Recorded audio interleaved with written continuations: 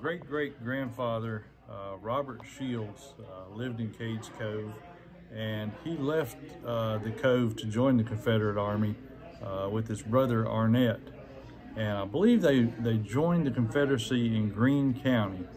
Uh, they were both in the 29th Tennessee Infantry, and my great-great-grandfather attained the rank of sergeant, and his brother Arnett was a corporal. And something unique about my great great grandfathers before the war, he uh, he was married and he had nine children before the war. Well, during the war, from what we understand, his wife left him, and the, one of the older daughters uh, took care of the kids. But when he came back from the war, uh, he remarried and had 10 more children and he wound up uh, settling in Murray County, Georgia, and became a preacher.